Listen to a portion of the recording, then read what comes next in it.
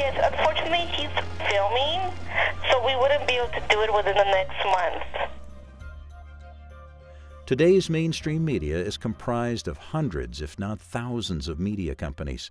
These media companies are engaged in the production of motion pictures, news broadcasts, TV programs, documentaries, and advertisements. As mentioned, one would think this cornucopia of media companies would be delivering a cornucopia of diverse news, entertainment, information, and ideas. After all, these media companies are peppered across the nation from coast to coast. Unfortunately, as widespread as they are, Almost all of them are owned by basically six multinational corporations, what's known as conglomerates.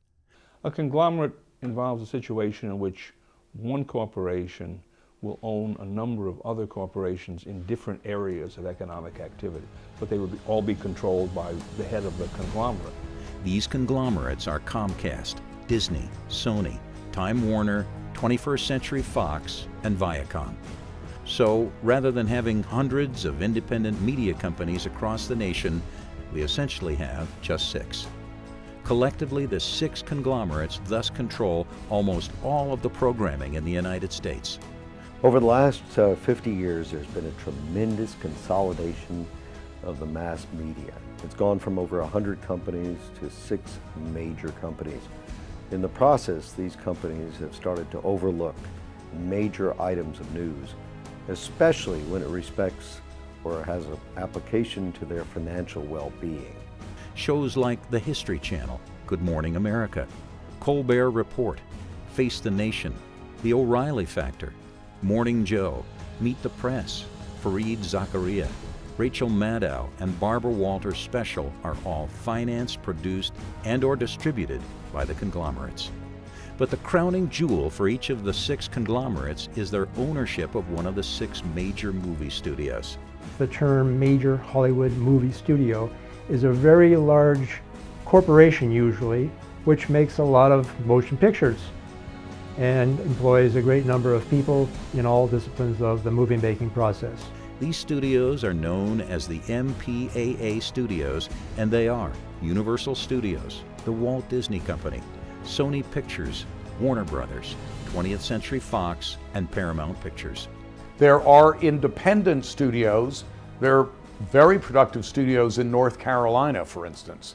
Uh, there are studios all over the country, in Arizona and whatnot, where movies are shot. But the MPAA, the big studios, are members of the Motion Picture Association, and they are primarily in Hollywood.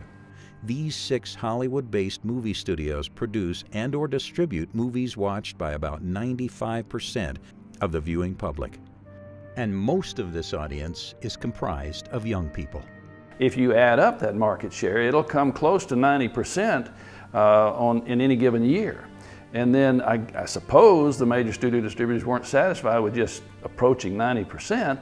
So almost all of them either bought or created wholly owned subsidiaries that uh, engage in competing with the independents for the lower budget films, you know, things below 20 million.